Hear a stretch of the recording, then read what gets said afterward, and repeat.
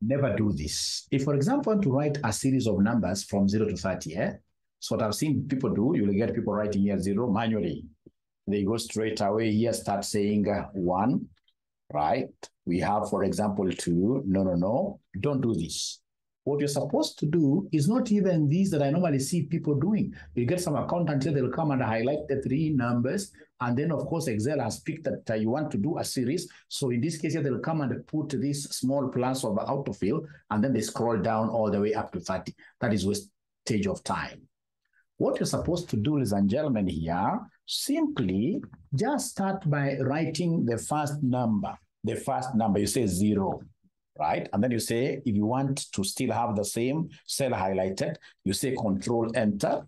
So you can see in this case here, this highlighting box has not gone to any other cell.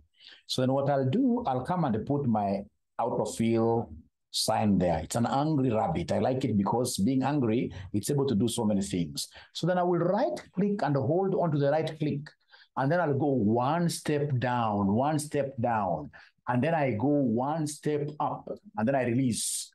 When I release the right click, I'm able to see this pop-up window. So I'll go straight away to the series. So we have the series. I click on the series and then it gives me this series. How do I want to place this series of mine? It's in columns, right? What is the stop value? I'll come and say 30, 30, and then I'll be able to apply, say, okay. So be able to see the series coming up.